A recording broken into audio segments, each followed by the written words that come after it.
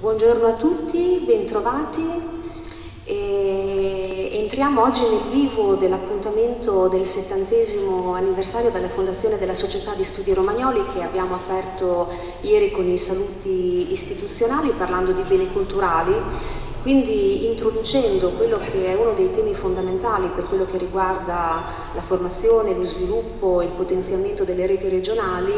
e una sessione alla quale abbiamo voluto dedicare particolare spazio data l'importanza e la rilevanza del tema per quello che riguarda la Romagna e data anche l'importanza del tema per quello che riguarda le relazioni diciamo in qualche modo infrastrutturali dal punto di vista tematico tra l'area vasta Romagna come si può definire oggi e quello che è invece tutto il comparto della regione in senso più esteso. Abbiamo qui oggi il piacere di ospitare i referenti anche istituzionali della, della gestione, della valorizzazione, del, dello studio del patrimonio eh, culturale romagnolo, interpretato nel suo senso più ampio, diacronico, ma anche in qualche modo declinato in quelle che sono le istituzioni che se ne occupano nella maniera più concreta, nella tradizione della società di studi romagnoli che parte proprio dal contatto con le istituzioni che operano sul territorio. Apre l'incontro Roberto Balzani, Presidente dell'Istituto Beni Culturali dell'Emilia Romagna, con l'intervento Il patrimonio culturale romagnolo, geografia, istituzioni e processi di valorizzazione 2001-2019. Eh, grazie, buongiorno a tutti. E il compito naturalmente eh, sarebbe immane e io in questa fase cercherò di riflettere su alcuni dati raccolti e anche naturalmente su alcune prospettive di analisi che potrebbero essere sviluppate, perché è ovvio che eh, trattare del patrimonio culturale della nostra, eh, della nostra regione eh, in una prospettiva diacronica è un argomento abbastanza complesso perché come vedremo eh, è vero che la società di studi romagnoli ha rappresentato una continuità nella storia culturale della regione. Dal 1949 a oggi, è vero anche che le forme dell'organizzazione culturale e anche le stesse strutture delle istituzioni sono enormemente cambiate in questi 70 anni, tanto da apparire sostanzialmente irriconoscibili per una persona che avesse partecipato alla eh, riunione fondativa degli studi a Cesena esattamente 70 anni fa. E basta per rendersene conto prendere un libro che può essere considerato la summa della, eh, di quella che era la tradizione culturale romagnola nel secondo dopoguerra, che è un libro di Gaetano Gasperoni, bibliotecario di Savignano del 1955, intitolato Nel solco delle grandi memorie, pubblicato dall'editore Garzanti eh, a Milano, naturalmente Garzanti era forlivese, sottotitolo Problemi di cultura romagnola e eh, Gasperoni in quel testo, eh, lui era stato uno dei fondatori della rivista Romagna con Alfredo Grilli nel 1904, che si può considerare il primo tentativo di creare una sorta di intellettualità romagnola organica, organica allo spazio regionale, prima praticamente non esisteva, questo processo che dal punto di vista geostorico comincia con Rosetti nel 1894, nel 1904 trova in questa rivista il primo luogo di confronto. Eh, la rivista fa convegni, come era allora la stagione, stiamo nella stagione delle grandi riviste, la voce di Prezzolini, e quindi è una rivista militante, non è una rivista solo di erudizione, fanno convegni, arrivano alla prima guerra mondiale, poi naturalmente le cose si sfilacciano, ritendono dopo la seconda guerra mondiale e, ma il tentativo poi alla fine sfuma nella prima parte della, del fascismo, insomma in qualche modo eh, si perde questa, questa, connessione. Questa connessione si perde, ma Gasperoni eh, diventerà la persona che Augusto Campana cita nel 1949, quando, alla prima riunione degli studi romagnoli, quando deve recuperare il senso della società e dice ma noi da dove veniamo? E dice noi veniamo da quel gruppo di intellettuali là al quale io partecipai perché il giovane Campana aveva partecipato negli anni venti all'ultimissima stagione della Romagna e quindi dal punto di vista anche potremmo così dire biografico c'era questo legame con quella generazione. Gasperoni era ancora vivo e nel 1955 fa questa sorta di, scrive questa sorta di testamento spirituale in cui raccoglie eh, non soltanto le figure eh, degli intellettuali romagnoli che avevano diciamo, illustrato la regione nel corso del periodo fra 800 e 900, ma fa anche un ritratto di quella che è la consistenza delle presenze eh, di bibliotecari, eh, dell'organizzazione degli studi, di chi aveva studiato cosa fondamentalmente. Naturalmente i personaggi li conosciamo, sono i soliti, Luigi naturalmente a parte Pascoli come nome tutelare di questa generazione, Luigi Orsini, Grilli, Ballardini a, a Faenza, Santi Muratori, Paolo Mastri a Meldola, Grigioni, eh, Massera Rimini, eccetera, eccetera. Quindi diciamo che è un libro interessante perché è la fotografia di, una, eh, di un ceto intellettuale. E lui stesso lo definisce così, dice qual è stato il nostro obiettivo in questi 50 anni? Creare quella che lui chiama un po' enfaticamente, per ora si diceva così, l'unità spirituale della regione. Cioè noi avevamo bisogno, al di là di quelle che erano le partizioni amministrative, geografiche, di dare una sorta di unità alla, eh, allo studio della Romagna e ai romagnoli stessi che si sentono una comunità ma che non avevano poi basi concrete di lavoro, di studi che rafforzassero questo sentimento. Bisogna dire che questa impostazione di Casperoni, metà degli anni 50, che risente ancora dell'impostazione precedente, è quella che rimane tutto sommato eh, presente dentro le nostre strutture, anche della stessa società fino agli anni Ottanta. Quasi tutta la generazione eh, che nasce prima della guerra, soprattutto quella che fa la seconda guerra mondiale, che matura nella seconda guerra mondiale, è, risente di questa esigenza, cioè una sorta di associazione di intellettuali locali che attraverso l'ibridazione con alcuni grandi centri accademici costruisce una intellettualità regionale che sia in grado poi di confrontarsi con le amministrazioni, che sia in grado di confrontarsi con le casse di risparmio, che sia in grado di confrontarsi con l'istruzione, quindi presente nelle scuole, presente nei licei, eccetera, eccetera. Questa, questo impianto molto tradizionale, ma anche molto efficace, eh, possiamo dire si esaurisce alla fine del Novecento eh, si esaurisce biologicamente e si esaurisce anche perché gli strumenti dell'organizzazione culturale ovviamente cambiano radicalmente. Eh, la centralità delle biblioteche e degli archivi come luogo di incontro di questi gruppi che come veri e propri eh, cenacoli eh, poi alimentavano la vita delle, delle città eh, si perde oggi non esiste praticamente più, la frequentazione di questi spazi è lasciata a delle minoranze molto più, come dire, disperse di un tempo, spesso la vita degli studi romagnoli era appunto questa, le persone che venivano agli studi romagnoli si incontravano prima negli archivi nelle biblioteche a parlare delle ricerche che avrebbero presentato agli archivi romagnoli, agli studi romagnoli, quindi conosco tanti che hanno fatto questa esperienza, cioè che quando c'erano le, le, ricerche sapevamo già eh, di che cosa avrebbero parlato i nostri amici perché li avevamo già in qualche modo incrociati nei luoghi che frequentavamo, ciascuno di noi frequentava. E questo era un aspetto molto importante perché naturalmente tesseva delle relazioni, questo è decisivo, che andavano al di là del campanilismo romagnolo, che era lo sappiamo, la, la malattia endemica del nostro territorio. E la società era un antidoto contro il campanilismo. C'era un eh, gruppo di persone che si stimava reciprocamente che aveva delle relazioni permanenti, venisse da Forlì, da Cesena, Ravenna, da Rimini, erano eh, diciamo, lo spazio culturale nel quale lavoravano era assolutamente lo stesso e il lavoro che ciascuno faceva era a beneficio di questa, eh, di questa identità diversa. Poi c'erano anche persone che dal di fuori aiutavano come catalizzatori.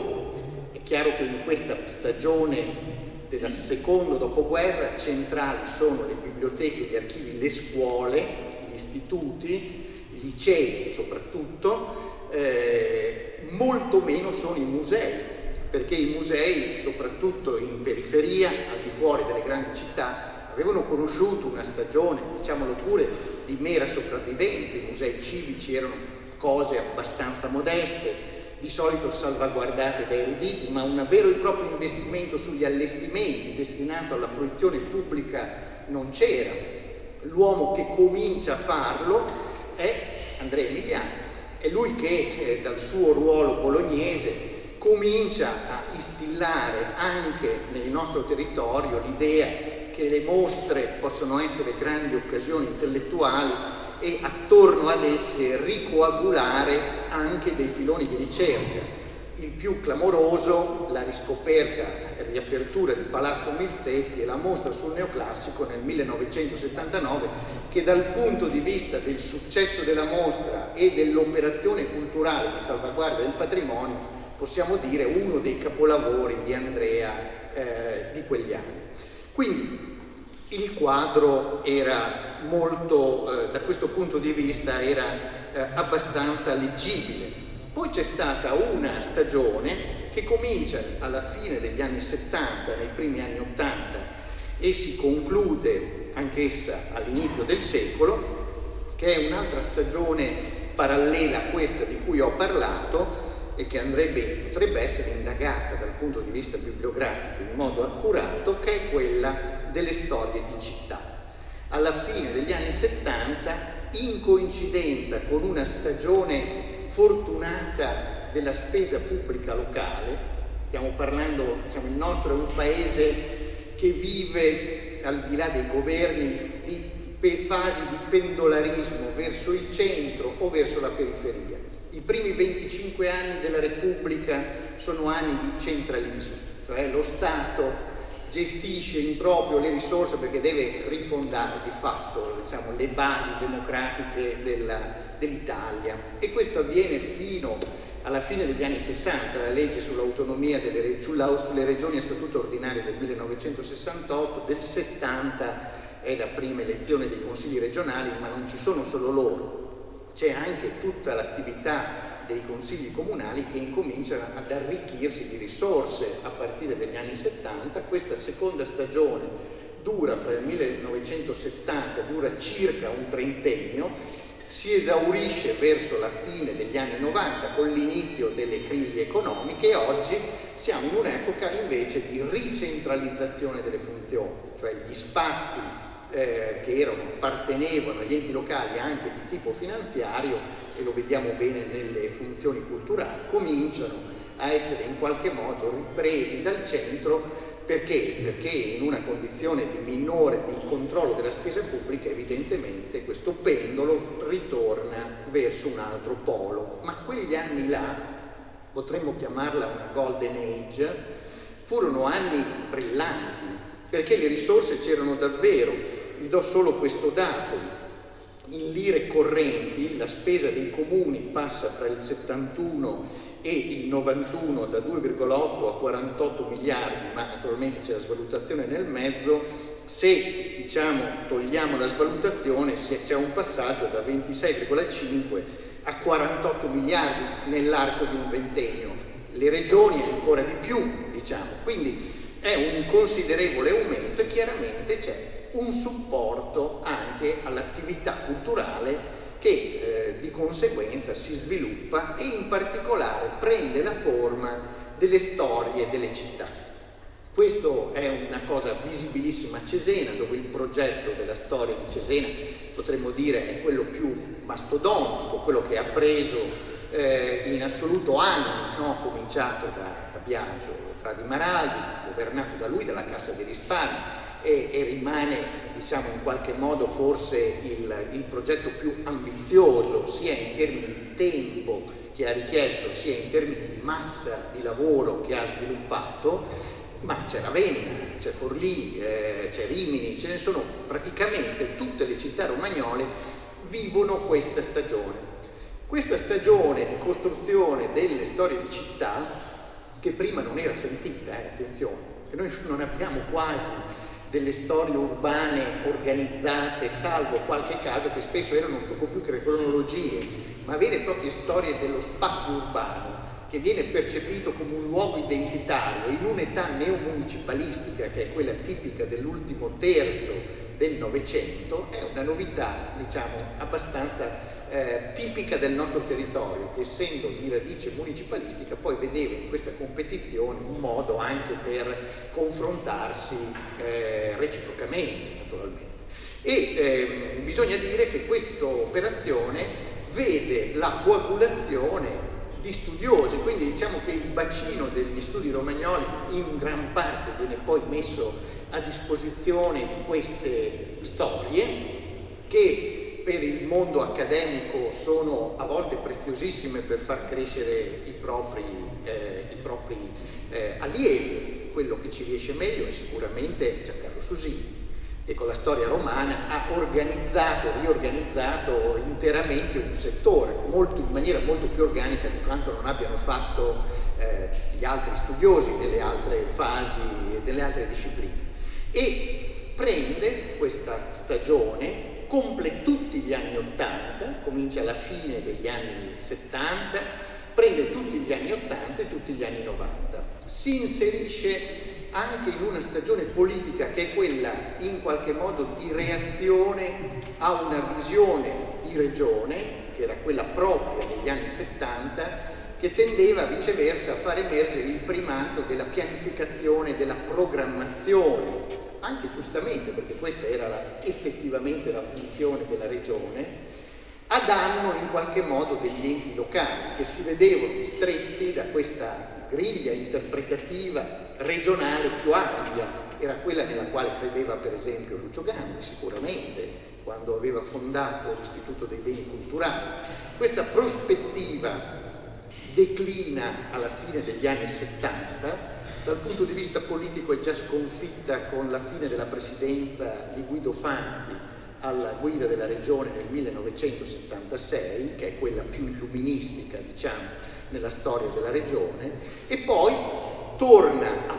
invece prepotente il neomunicipalismo, col quale la regione comincia a dialogare, è la cosiddetta età del policentrismo, che è stata poi in qualche modo letta dal punto di vista diciamo, di organizzazione amministrativa sotto il nome di policentrismo. In questa stagione policentrica le storie delle città sono diventate uno strumento anche di promozione municipale sicuramente e hanno attratto un sacco di risorse, spesso eh, risorse comunali affiancate da quello delle casse di risparmio che erano gli altri centri, chiamiamoli così, polmoni del potere finanziario locale che anche per ragioni politiche erano molto affini, perché sapete che i, nomi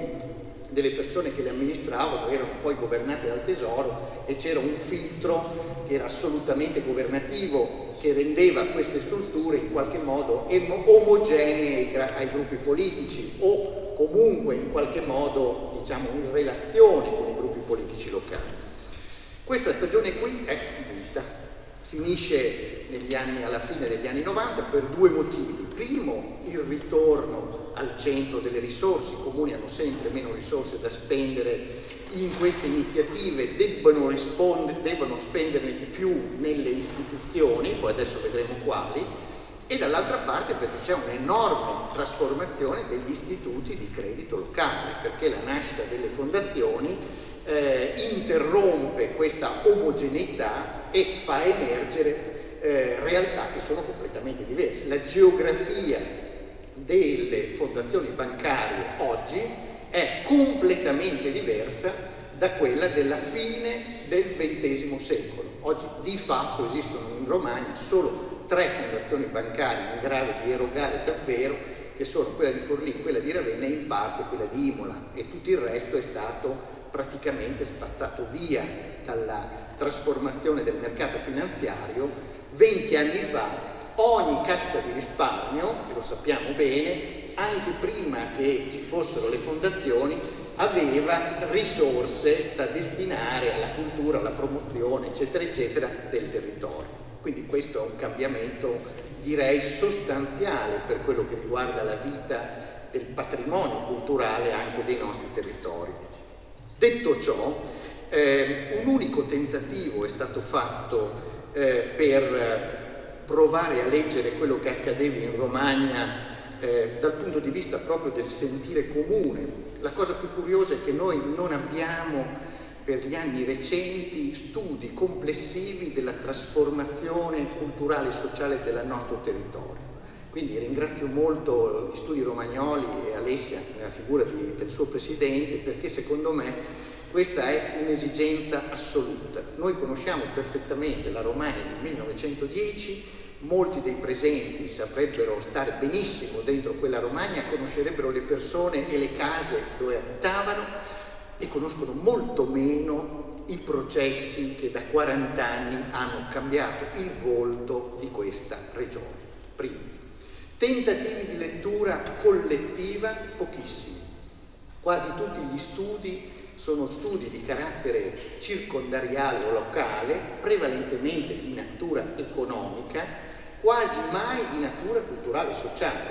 Io ricordo, perché è qui presente eh, la professoressa Poma, che alla Fondazione di Forlì facemmo forse uno dei pochi, eh, e per quanto mi riguarda mi sembra unici, eh, unico tentativo che era quello di, fu quello di commissionare uno studio all'Istituto Cattaneo del Mulino, eh, proprio all'inizio degli anni 2000, eh, proprio intitolato, eh, dedicato alla percezione della Romagna da parte degli stessi romagnoli, da un punto di vista sociale e culturale, era intitolato Nodi, reti, ponti, la Romagna e il capitale sociale, eh, che era l'unico studio in cui fossero messi in comparazione le province, le tre province, quindi non era fatto per Forlì, era fatto per tutta la regione. E Naturalmente gli indicatori non erano quelli di carattere culturale, diciamo, fine come potrebbero interessare a noi, erano di un più largo spettro. Eh, veniva fuori che, tanto per dirne una, ma lo sappiamo già, eh, che il, il, difetto principale dei romagnoli è il campanilismo per il 23%, la seconda cosa è una tendenziale anarchia, cioè ognuno fa di testa sua, ma questo probabilmente è valido anche per altre regioni, e poi eh, un elemento tipo la scarsa cultura, la chiusura mentale, eccetera, eccetera. Fra gli aspetti dei pregi eh, risultava prevalente la cucina, naturalmente, eh, l'attaccamento alla famiglia ancora, la voglia di lavorare mi sembra un po' troppo, però anche quella era diciamo, considerata un elemento, eh, un elemento qualificante. Fra quelli che erano gli oggetti, i personaggi, i luoghi che rappresentano maggiormente la Romagna, il marafone era al 36% insieme col passatore e la caveglia, mentre invece era già in caduta libera il ballo liscio eh, e anche la piadina col Sangiovese che evidentemente funziona molto più per gli altri che non per noi. Quindi sto dicendo cose che sono sciocchezze, ma diciamo che eh, sarebbe interessante rifare a distanza di vent'anni quella ricerca per capire che cosa eh, verrebbe fuori oggi, credo ci sarebbero delle sorprese interessanti a questo proposito. Detto ciò, quello su cui volevo invece rapidamente soffermarvi, dopo questa piccola disamina di quello che è un mondo eh, sul quale ancora eh, comunque non abbiamo lavori sistematici, ehm, è ehm, quello come potremmo noi oggi eh, fare un'analisi del patrimonio, che senso come potremmo farla, come mi sono posto il problema, che cosa avrebbe senso censire davvero, eh, avrebbe senso censire il, gli accessi alle biblioteche o ai prestiti librari? Abbiamo i dati naturalmente, li abbiamo raccolti come IBC, ci sono le, le dati Istat, quindi non è, non è che ci manchino, ma mi chiedo, ha significato questo oggi per misurare una, eh, diciamo, una partecipazione culturale? Gli archivi cartacei sono maggiormente sempre più ehm, eh, diciamo, battuti più che da studiosi, eh, da eruditi locali, di appassionati, pochissimi anche gli studenti che riusciamo a mandare, quindi la vitalità del nostro patrimonio che una volta era la base, se vogliamo, di questo mondo di intellettuali che si ritrovava, biblioteche, archivi, oggi è, è disertata. Quindi questo elemento forse non sarebbe più così significativo. I numeri dei musei, non c'è dubbio che l'altro aspetto coincide col declino di questo vecchio modo di fare eh, cultura a livello locale, eh, è il decollo delle strutture museali come luogo di aggregazione e anche di spesa per i comuni e non solo per i comuni. E in questo caso naturalmente noi abbiamo indicatori di carattere quantitativo, e cioè i visitatori, i biglietti staccati, che però sappiamo sono indicatori che hanno un significato relativo, perché perché bisogna vedere quanti soldi si spendono per fare una mostra, perché è evidente che se io spendo 2 milioni di euro per fare una mostra con una pubblicità nazionale, cioè non gioco la stessa partita che gioca una eh, realtà locale che può spenderne 20.000. Quindi è chiaro che è un indicatore di quelle che sono le città che puntano sul museo come luogo attrattivo ma non sono di per sé un indicatore di vitalità reale del patrimonio, potremmo dire un uso del patrimonio, questo sì, sotto questo profilo sicuramente Ravenna, ma questo lo è sempre stato, sicuramente Forlì ed è una novità col San Domenico a partire dall'inizio del nuovo secolo, Sicuramente Rimini, che oggi possiamo dire è la città che più organicamente sta investendo in una diciamo, rilettura del proprio centro storico. Pensiamo al Cinema Fulgor, alla risistemazione dei musei civici e al Castel Sismondo come luogo del Museo Fellini. Quello è diciamo, un'area che ha grosso modo 100 metri di diametro sul quale in questo momento si stanno concentrando una pioggia di milioni di euro che vengono sia dallo Stato sia dal Comune. Quello diciamo fra i comuni maggiori della Romagna in questo momento è il luogo dove dal punto di vista dell'investimento c'è una maggiore intensità. Se a questo corrisponde una vitalità reale del tessuto culturale riminese, non lo so. La risposta è io non lo so, cioè non so dire fino a che punto questo si avrà ricadute sul tessuto in questo momento possiamo dire che c'è una sorta di cantiere aperto energivoro, cioè dove le risorse stanno arrivando. Quindi dobbiamo avere questa attenzione nel giudicare questi fenomeni, altrimenti li mettiamo tutti nello stesso contenitore, cioè quello del patrimonio culturale in senso indistinto. Delle fondazioni bancarie e della loro minore presenza abbiamo già detto, c'è poi la questione delle università, che so che è stata trattata ieri, e sotto questo profilo io direi anche qui è vero che senza la presenza universitaria le nostre città avrebbero sicuramente subito un degrado assolutamente diciamo, molto forte perché l'università oggi è comunque una, un luogo di socializzazione dei giovani, dei ragazzi, di partecipazione, di formazione io direi terziaria più che universitaria, molto spinta, eh, che cosa abbiano lasciato sul territorio e dove si siano realmente create delle liaison positive non, non, non dovunque e non in tutte le discipline e corsi di laurea, sicuramente non in tutti e lì bisognerebbe vedere caso per caso dove questi rapporti si sono creati e dove non si sono creati, quali sono state le relazioni positive e quali invece ci sono state le, eh, le, relazioni che hanno semplicemente determinato la, la costituzione di un centro di insegnamento senza esiti pratici per il territorio. Diciamolo pure che il territorio dal punto di vista amministrativo tende a tenere l'università a distanza, cioè perché i, le elite amministrative locali sono dei piccoli feudi e quindi l'arrivo di soggetti diciamo, culturalmente attrezzati normalmente non viene letto positivamente da nessun partito, eh, non sto facendo una visione, una lettura di tipo politico. Quindi è chiaro che questa relazione è circoscritta, a volte avviene e a volte no. Dopodiché ma questo si potrebbe fare anche come indicatore, cioè capire quanti professori universitari hanno partecipato alle istituzioni pubbliche eh, della Romagna dal 1990 al 2020, quindi già lì si potrebbe fare un quadro eh, di quella che è diciamo, la, la relazione dal punto di vista della partecipazione alle istituzioni. Dopodiché, ehm, il, detto questo, quindi, io ho alcuni dati quantitativi e qualitativi, certamente. Vi posso presentare, per esempio, eh, i finanziamenti dell'IBC fatti sulla legge 18, che è quella che finanzia le istituzioni museali. Prendo questa come elemento. Eh, mh, diciamo sulla scala romagnola il piano del 2018, l'ultimo che,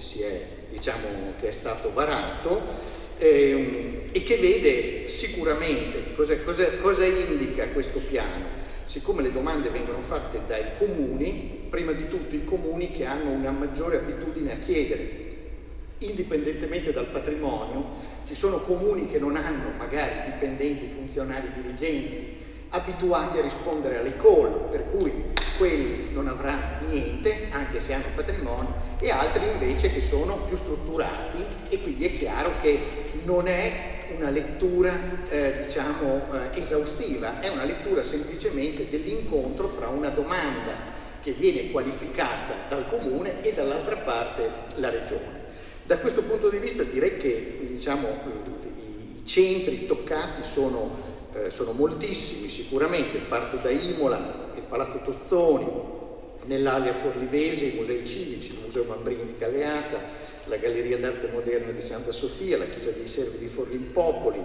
il Museo Archeologico di Cesena, il Museo della Marineria di Cesenatico, la Casa Pascoli a San Mauro, il Museo del Compito a Savignano, la Casa Panzini a Bellaria, il Museo delle Cappuccine e l'Ecomuseo di Bagnacavallo, il Castello di Bagnara, il Museo del Sale di Cervi, il Museo Civico di Fusignano, la Casa Rossini di Lugo, il Museo della Frutticoltura di Massa Lombarda, il Mar di Ravenna, la Casa Guerrini di Ravenna, il Museo della Città di Rimini, i musei comunali di Rimini, i musei comunali di Sant'Arcangelo, la fortezza di San Leo, il Museo archeologico di Verucchio, il Museo Sapignoli di Toriano e ci sono anche alcuni diciamo, tentativi di collegare vari luoghi. Questo è molto raro, ma succede in Romagna. Casa, le case museo dei, dei poeti e degli scrittori, per esempio, è un tentativo che fino adesso ha, diciamo, ha abbastanza funzionato. Eh, I musei dell'entroterra riminese con Sant'Arcangelo Capofila e il Museo del Paesaggio Diffuso dell'Unione della Romagna Faentina, che bisogna dire è una delle più dinamiche. Diciamo l'Unione di Faenza avendo interiorizzato, internalizzato anche il servizio culturale, cosa che non hanno fatto le altre unioni in Romagna, è quella che si sta ponendo in una chiave di eh, diciamo, lettura del patrimonio della cultura più coerente in questo momento. Si tratta di un'unione non molto grande, ma dal punto di vista delle politiche culturali un po' più evoluta di quello che si legge altrove. Dopodiché, naturalmente, non c'è solo quello, abbiamo eh, anche le fondazioni eh, che in qualche modo sono collegate alla, alla regione, quindi vabbè, il Museo di Classe naturalmente, il MIC di Faenza che è un altro grande polmone, la Casa Oriani, la Fondazione Tito Balestra di Longiano, eh, che sono i principali privati eh, che hanno anche funzioni pubbliche molto, eh, molto forti i soldi che la Regione sta investendo in questo momento in progetti speciali più rilevanti sono ovviamente Dante, eh, per il quale ha stanziato un milione e mezzo di euro che sono destinati al comune di Ravenna e Fellini che naturalmente vede quegli interventi che sono oggi eh, visibili sul Fulgor e eh, su Castel Sismondo. Eh, naturalmente questo che cosa, eh, che cosa, dice? Beh, sicuramente che in questo momento eh, diciamo, eh, l'IBC eh, sostiene questa pluralità di soggetti, noi non abbiamo una lettura fine di questi processi a priori, cioè non sappiamo esattamente se poi queste risorse eh, abbiano realmente una funzione, hanno una funzione di sostegno dei musei, questo va bene naturalmente, ma non sappiamo fino a che punto siano paradigmatiche, funzionali a una politica di comunità. Questo noi non lo sappiamo, non abbiamo uno strumento, non abbiamo un indicatore e questo è un grave problema per una struttura che deve fare adottare delle policies a livello regionale. Perché? Perché è chiaro che i musei sono tutti delle monadi che cercano di sopravvivere, cioè sono dei, dire, dei, dei piccoli animaletti che stanno in un contesto ostile e ognuno cerca di prendere risorse per poter sopravvivere. Questo è il suo destino, cioè non è che si pone il problema eh, del, del perché. Quando un'istituzione esiste era, era, quella che Pareto chiamava in sociologia la persistenza degli aggregati. Quando esistono delle istituzioni, queste in ogni modo sono come gli organismi biologici, cercano di sopravvivere, non si pongono il problema del loro senso. Il senso glielo devono dare gli altri, no, devono loro, le altre istituzioni devono dire ha senso che tu esista oppure no, ma qui non c'è nessuno che lo dica. Cioè una volta che si costituiscono questi organismi, poi cercano di sopravvivere. Noi avremmo bisogno, questo spero che riuscirà a farlo anche l'IBC con adesso la lettura del sistema museale regionale, di capire che cosa sta funzionando di questo mondo, cioè quanto di queste risorse sono realmente stanziate per la sopravvivenza mera di organismi che pure debbono esistere sotto forma di tutela e di conservazione dei beni, siamo, siamo tutti d'accordo, ma non è detto che debbano esistere sotto il, il profilo dell'istituzione museale con tutti i crismi, perché sotto quel profilo, ahimè, le risorse non è detto che vi siano, naturalmente, e quindi eh, questa è una lettura che su, nel caso romagnolo, come avete visto, sarebbe interessante perché la quantità dei soggetti è molto vasta ma io non saprei dare un valore a questi soldi, cioè non saprei dare un valore reale al tipo di investimento, al feedback. Questo dipende anche però dalla spesa pubblica in generale in questo, in questo paese, perché il problema del feedback non ce lo poniamo quasi mai, chi è stato amministratore lo sa, il momento più importante per un amministratore è quando si decide la spesa, perché? Perché lì si costruisce la clientela politica.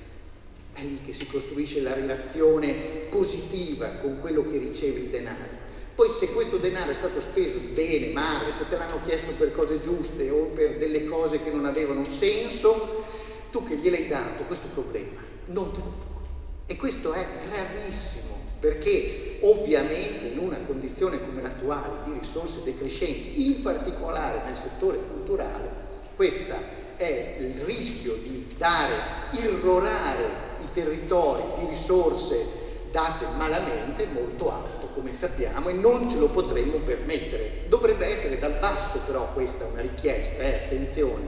come comunità. Adesso vorrei però concludere chiedendomi Va bene, allora poniamo che riusciamo a costruire degli indicatori qualitativi, che mi sembra la cosa più importante per capire esattamente cosa sta succedendo in Romagna sul patrimonio.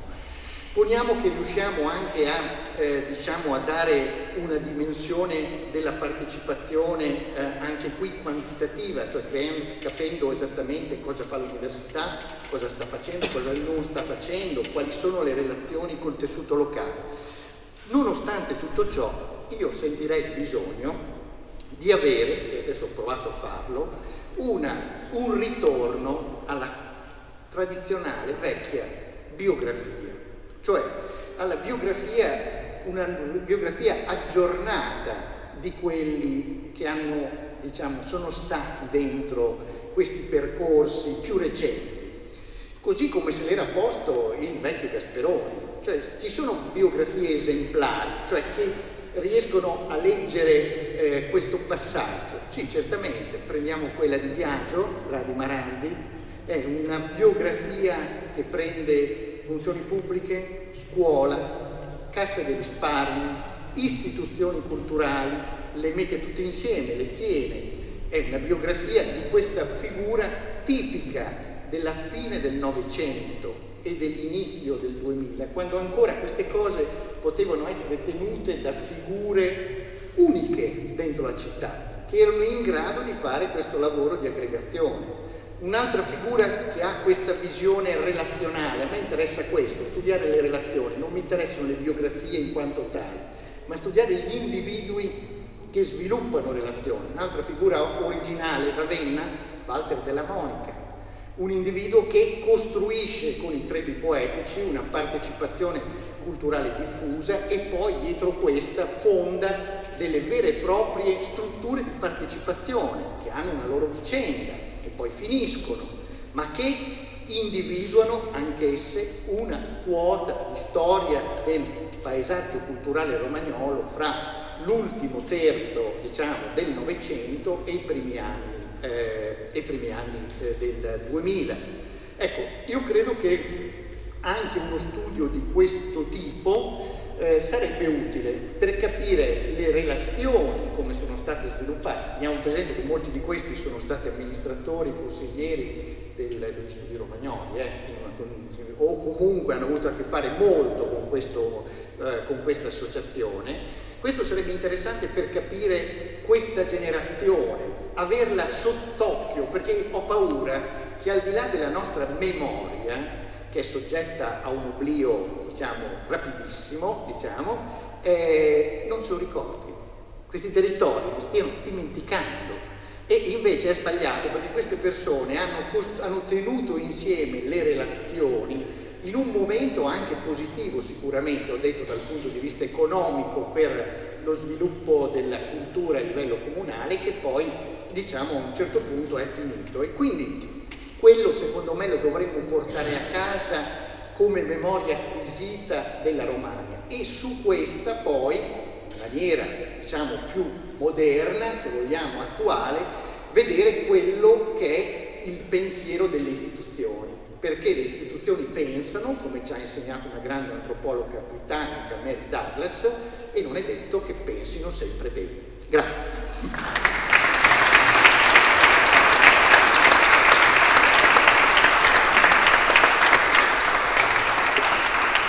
Allora, molte grazie a Roberto Balzani che con la sua consueta concretezza ci ha fatto un quadro assolutamente, come posso dire, anche un po' spietato, però direi necessario, visto che l'obiettivo del convegno era proprio quello di fare non solo il punto della questione, ma anche di cercare di capire dove siamo e dove vogliamo andare. Io mh, aggiungo solo a, a latere, forse anche a titolo integrativo di quello che è stato detto, che a me sembra sempre di più, eh, proprio dalla prospettiva anche dei beni culturali, che ci si debba interrogare proprio sul tipo di comunità alla quale noi ci rivolgiamo, perché c'è una comunità che non popola più gli archivi e le biblioteche, c'è però un ritorno continuo e sempre più insistente del tema di comunità anche nei dibattiti internazionali, anche con, entro le linee UNESCO per esempio, anche in una eh, logica più allargata che guarda la globalizzazione ma non si capisce poi come, per cui la comunità è diventata un interlocutore ombrello, diciamo, sopra il quale tutti ci collochiamo, che dovrebbe diventare un destinatario ma che se non viene alimentata con una identità specifica è un boomerang, perché non è un interlocutore credibile, non garantisce una forma né di tutela né di promozione sostanzialmente. Quindi anche da questo punto di vista c'è tutto il tema che è stato richiamato, c'è anche il tema di dove vanno società come la società di studi romagnoli in questo contenitore più ampio, per cui la mission deve cambiare un po' il rapporto al contesto, però bisogna anche eh, capire qual è il contesto per non seguirlo in maniera critica ed è molto difficile obiettivamente. Comunque ringrazio molto, stiamo accumulando dei compiti a casa da ieri pomeriggio, quindi siamo molto contenti perché abbiamo capito che lavoreremo per i prossimi 30 anni.